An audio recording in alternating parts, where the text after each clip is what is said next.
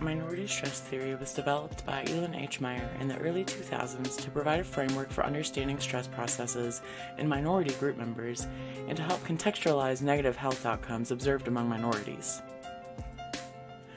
Stressors are defined as events and conditions that cause change and that require the individual adapt to the new situation or life circumstance.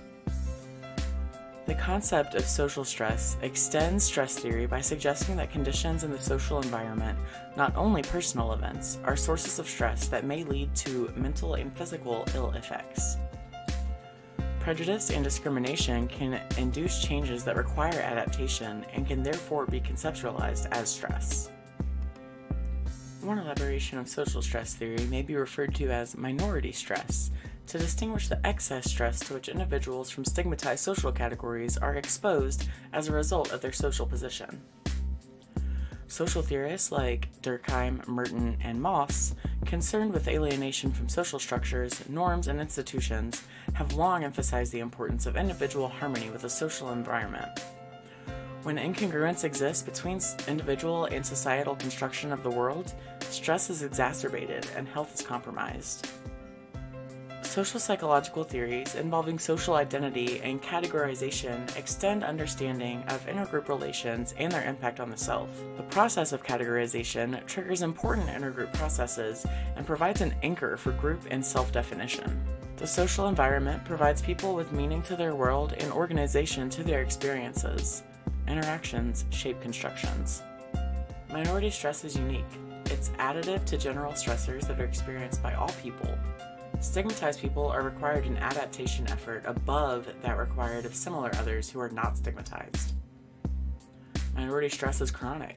It's related to relatively stable underlying social and cultural structures. Minority stress is socially based. It stems from social processes, institutions, and structures beyond the individual, rather than individual events or conditions that characterize general stressors. Minority processes include distal stressors, which are those external objective stressful events and conditions, which can be chronic or acute, and proximal stressors, which are individual internal stressors.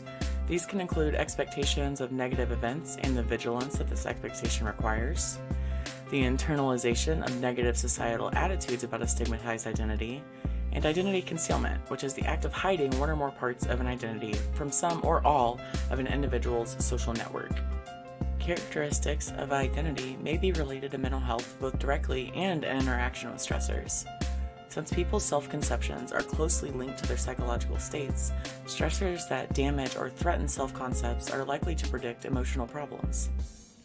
On the other hand, minority identity may also lead to stronger affiliations with one's community, which may in turn aid in buffering the impact of stress. Salience, valence, and integration with other identities may be relevant to stress.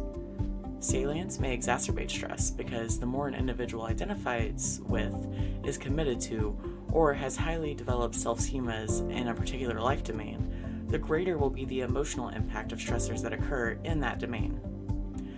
Valence refers to the evaluative features of identity and is tied to self validation. Negative self evaluation enhances stress. Integration with other identities is the goal in reaching self acceptance. In optimal identity development, various aspects of the person's self are integrated. Many minority group members respond to prejudice with coping and resilience.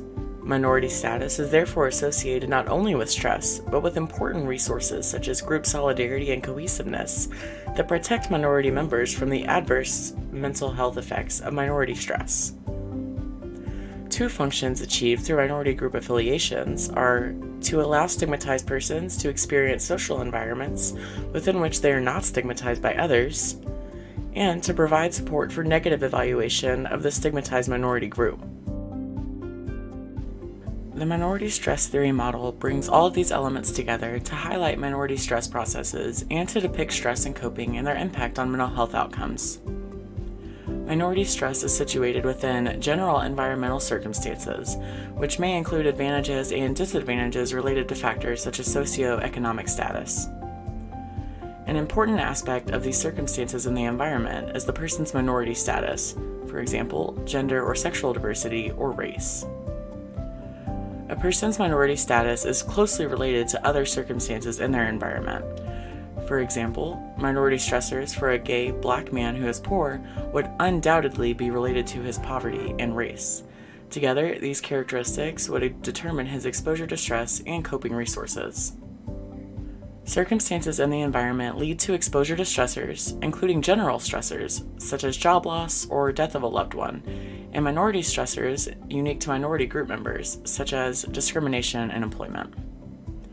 These stressors are interdependent. For example, an experience of anti trans violence is likely to increase vigilance and expectations of rejection. Often, minority status leads to personal identification with one's minority status. In turn, such minority identity leads to additional stressors related to the individual's perception of the self as a stigmatized and devalued minority. Because they involve self perceptions and appraisals, these minority stress processes are, are more proximal to the individual, including expectations of rejection, identity concealment, and internalized stigma. Of course, minority identity is not only a source of stress, but also an important effect modifier in the stress process. First, characteristics of minority identity can augment or weaken the impact of stress. For example, minority stressors may have a greater impact on health outcomes when the stigmatized identity is prominent than when it is secondary to the person's self identification. Second, minority identity may also be a source of strength when it is associated with opportunities for affiliation, social support, and coping that can ameliorate the impact of stress. Looking at the model, we can see that general stressors interact with proximal and distal minority stressors to impact health outcomes. Environmental circumstances, including one's minority status, contribute to those general stressors. Minority status then impacts the individual through distal stress processes, like prejudice events. Minority identity contributes to proximal stress processes, like identity concealment and internalized stigma. Minority identity also impacts an individual's coping and social support through group affiliation and identity integration.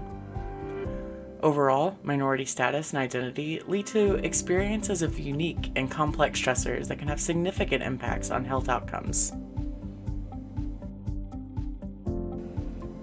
Minority stress theory was developed initially for the lesbian, gay, and bisexual population, but has since been utilized to further understand minority stress processes for different minority groups, like trans individuals and racial and ethnic minorities. It is a very useful framework for understanding how larger environmental stressors interact with individual stressors and compound to impact overall stress levels and eventual health outcomes. The other very important piece of minority stress theory to remember is that minority identity status is very often a source of strength and resilience. Minority identity affiliation can serve as a protective factor for individuals in minority groups.